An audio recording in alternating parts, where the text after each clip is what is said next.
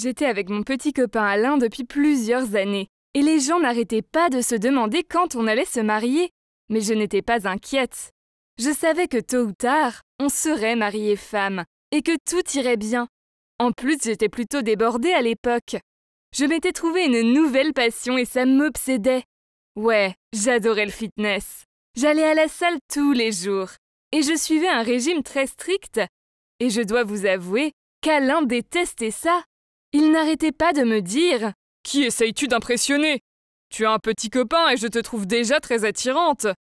Ça le rendait dingue et il devenait jaloux. Ce qui n'avait aucun sens, car il n'avait pas du tout à s'inquiéter. Je l'aimais tellement. Mais ça ne voulait pas dire que je n'avais pas besoin d'aller à la salle. C'était tellement bien à chaque fois que j'y allais que je me suis mise à essayer plusieurs cours proposés. Enfin tout sauf la Zumba. Celle qui enseignait la Zumba, Jeanne, était un peu bizarre. J'y suis allée une fois et je suis arrivée en retard. Alors elle m'a lancé un regard noir pour me montrer que ça ne lui plaisait pas. Elle était méchante avec moi pendant tout le cours et n'arrêtait pas de dire que je ne faisais pas comme il faut. Je me suis sentie humiliée et j'ai décidé de ne plus jamais retourner à son cours. Et pour une raison que j'ignore, elle semblait m'en vouloir. Après ce cours, soit elle me regardait froidement, soit elle m'ignorait complètement. C'est quoi son problème? Je me suis dit que ça devait être parce que j'étais jolie. Et peut-être qu'elle n'était plus la seule sous les feux de la rampe maintenant. Pendant ce temps, Alain devenait de plus en plus ridicule. Et s'est mis en tête que je le trompais avec un mec musclé de la salle. Car j'y passais beaucoup trop de temps. Je détestais quand il était comme ça. Je lui ai dit de venir avec moi. Je lui ai dit si tu t'inquiètes à ce point que je drague des mecs musclés, pourquoi ne pas venir et voir par toi-même? Puis je lui ai dit que ça pourrait être un challenge marrant, de se marier quand on serait tous les deux super sveltes. Eh bien, Alain n'est pas du genre à refuser les challenges. Alors évidemment, il a accepté et est venu avec moi à la salle. Je lui ai même présenté mon entraîneur personnel, Ben, et Ben a accepté d'aider Alain aussi. Pendant les premières semaines, j'essayais d'y aller avec lui, pour être sûr qu'il gardait le rythme. Et c'est là que quelque chose de bizarre a commencé à se produire. Jeanne est devenue très bavarde, elle apparaissait tout le temps quand on arrivait, et j'aurais juré qu'elle draguait ouvertement Alain. Pour qui se prenait-elle? Elle voulait être au centre de l'attention. Mais je faisais confiance à Alain. Je savais qu'il ne tomberait jamais amoureux d'une fille aussi gamine. En plus, Alain venait à la salle uniquement pour moi, pas pour elle. Et à ma surprise, après quelque temps, il s'est mis à prendre ça beaucoup plus au sérieux que moi. La routine s'est installée. Je m'entraînais à la salle avant d'aller travailler, puis après le travail, je nous préparais un dîner sain.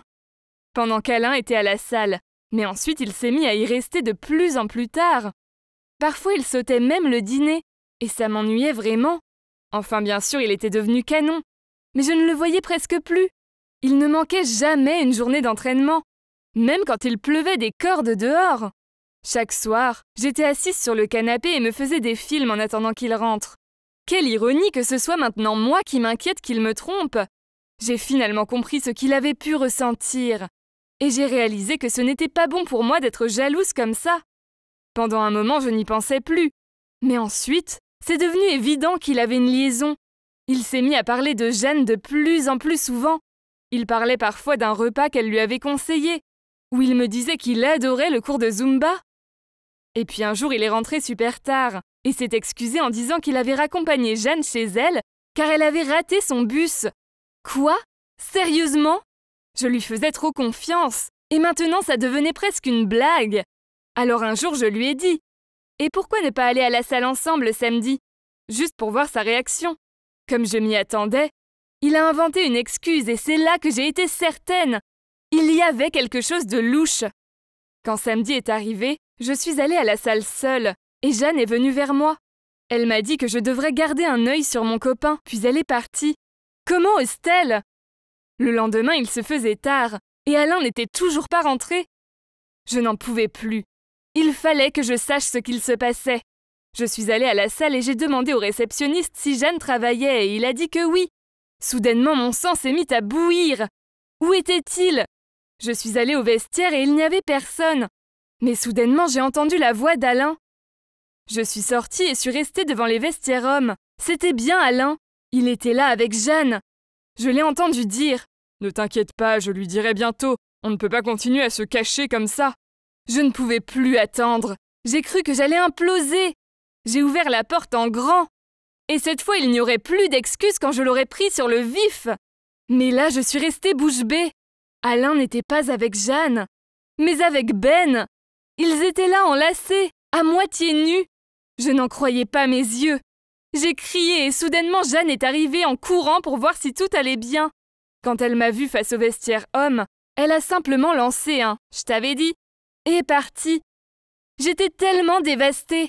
Alain a couru vers moi pour m'expliquer, mais je ne voulais rien entendre. J'étais si choquée. Après un moment, je me sentais mal pour lui. Maintenant, je comprenais pourquoi il ne m'avait toujours pas fait sa demande. J'étais blessée, mais je voulais aussi simplement qu'il soit heureux. Il a déménagé, et après quelques semaines, il est venu me parler. Il m'a expliqué qu'il ne savait pas qu'il était gay jusqu'à ce qu'il rencontre Ben, et il n'avait pas voulu me faire de mal. Peu après, Alain et Ben sont venus me parler tous les deux. Ils m'ont demandé si je voulais bien faire semblant d'être toujours en couple avec Alain, et même l'épouser, juste pour que nos parents soient heureux. Alain a dit qu'on ne pouvait pas leur faire savoir qu'il était gay. J'étais choquée. Je ne savais pas quoi dire. Et je ne sais toujours pas. N'est-ce pas un peu trop égoïste de leur part de me demander un tel service? Mais je ne veux pas non plus qu'Alain soit triste. Ses parents seront dévastés s'ils apprennent la situation. Quelle est la meilleure chose à faire?